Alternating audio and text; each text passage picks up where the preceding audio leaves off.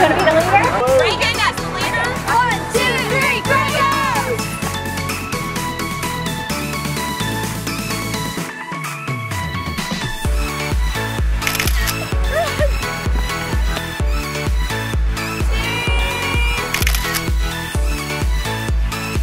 This is a great day. I believe that uh, this is the future of our blood drives and doing this and giving opportunities for kids to see other schools and what they do, interact and network. I think it's a great opportunity. I really appreciate the day and the things that they put together, the stories that they had to tell, and all the resources that they shared today were really beneficial. I took a lot of notes even after doing this for 25 plus years.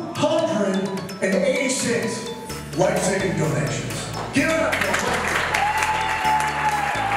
COVID kind of freshmen and sophomores don't really know how the blood drives work and I think us, me as a senior and the rest of the senior class, we want to show them how it works so they can keep it going and expand like we should.